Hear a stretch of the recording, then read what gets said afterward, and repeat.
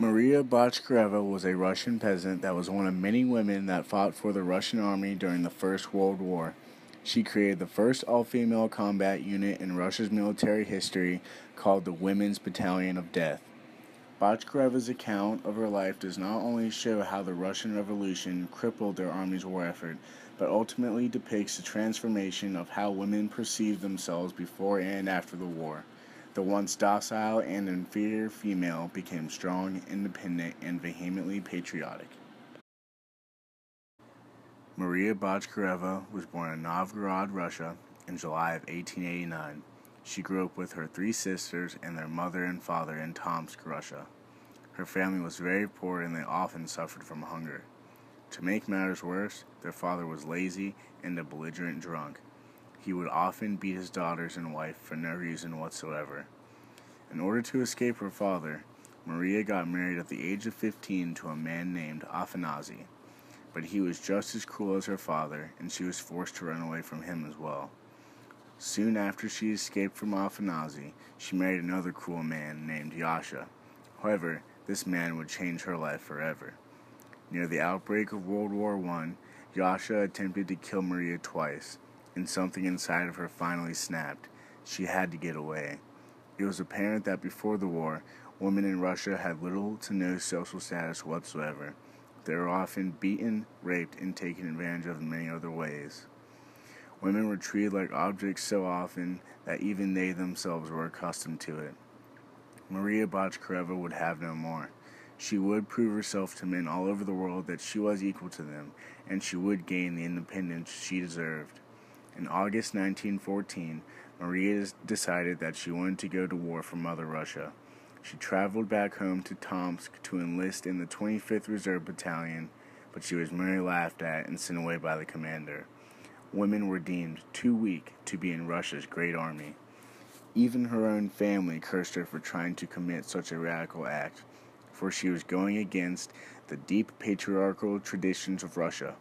However, she decided to write a letter to the Tsar to ask for his consent to enlist, and in the most blissful moment of Maria's life, she was assigned to the 4th Company and 5th Regiment of Russia's army.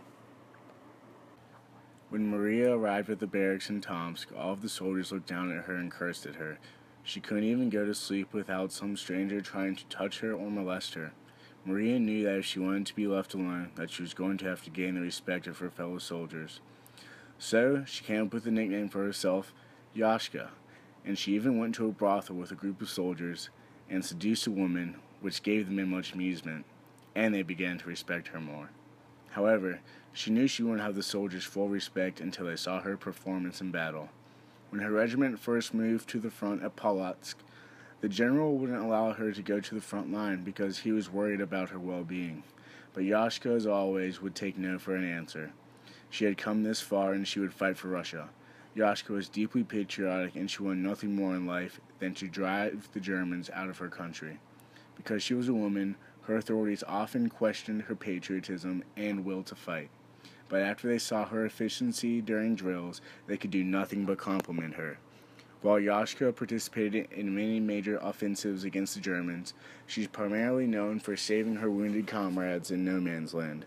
She simply said, So long as we were alive, we could not remain deaf to the pleadings of our comrades. It is recorded that she saved over 1,000 wounded soldiers from no man's land by the time she left the front in 1917. Throughout her service for the Russian army, she received a second degree Gold Cross and a Cross of the Third Degree for saving so many soldiers while being in the line of fire. She was also deemed a senior non commissioned officer and placed in charge of 70 men. However, she was denied several other recommendations because she was a woman. Yashka ignored the prejudice she faced and continued to loyally serve the Russian army. Unfortunately, soldier morale was running low due to a harsh winter, the brutal battles of Postavy and Lutsk, and several offenses near the Styr River. When the Tsar was overthrown and replaced with the provisional government, the sentiments of insubordination grew stronger and stronger. Order number one proclaimed that all citizens of Russia were equal and that soldiers and officers were equal as well. In light of the creation of a new government and its order, soldiers began to disobey their superiors, and many refused to go to the front to fight. On top of that, Several parties began to compete for power by giving speeches to soldiers at the front. Some spoke of patriotism and defending the motherland, but the most popular parties spoke of peace and condemned those who wanted to continue to suffer in the war. The soldiers began to lack enthusiasm and even began to fraternize with the Germans. Yashka couldn't take it anymore.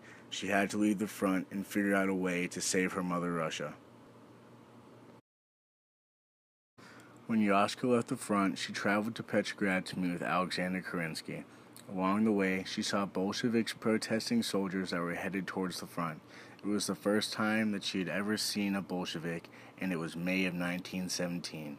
When Yashka met with Kerensky, she proposed a rather radical idea to form a disciplined all female battalion so that they could shame the men at the front into fighting. To much surprise, on May 21, 1917, Kerensky and several other generals approved the idea on the spot and expressed their support. This was a great step for women all over the world, and it can be seen as the modern introduction to women as soldiers. Once news spread of the all female battalion, more women in Russia and other countries began to volunteer themselves for the war effort. Before World War I, women were expected to have little to no part in war. War was traditionally just for men, but war at the time was changing. To the women, it was not just about raising soldier morale, it was about raising their own status, it was about proving their equality to men, it was about embracing their country's patriotism. At first, Yashka received 2,000 recruits from all walks of life, but she was a strong disciplinarian and sent many women home. She knew that the men at the front would never take them seriously if they didn't behave properly, and this she knew from experience. All of the women's hair was cut short, they weren't allowed to giggle, laugh, or flirt, and they had to wear men's uniforms. She was hard on the women, and the training was not easy, but they slowly progressed into a well organized force of 300 individuals. In Petrograd on June 21, 1917, these 300 women were consecrated into the official Women's Battalion of Death.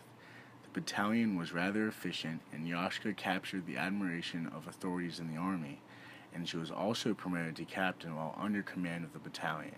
It is odd, however, that no matter how much power or status these women gained, they were never treated any better by men, and no one celebrated the improved gender roles but the women themselves. Once on the front, her soldiers were constantly molested and treated badly. Most of the men at the front sympathized with the Bolsheviks and their promise of peace. They were fed up with war, and there was basically a virtual truce between the Russians and the Germans, but the women kept on fighting. In fact, they were the only battalion that continued to fight when no other regiment was.